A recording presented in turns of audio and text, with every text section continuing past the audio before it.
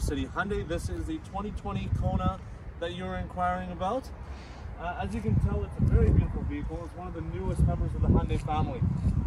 Hyundai did a really good job making a lot of space in the back trunk here. Take a look. They made it really deep so you can fit anything you want in there. If you look in the back seat as well, lots of room for the passengers in the back. And if you come to the front here, hop in the front seat.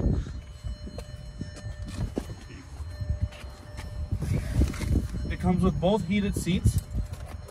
It comes with a backup camera as well, as well as it's uh, Apple and Android CarPlay, CarPlay friendly. Um, it does have hill descent uh, control. It has drive modes. It has different drive modes. So you have the sport mode, normal, and eco mode, and it comes with a four-wheel drive lock as well.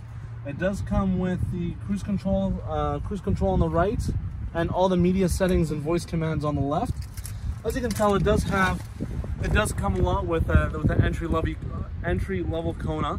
If you have any questions at all, my name is Bassam, and the number here is 780-371-3700.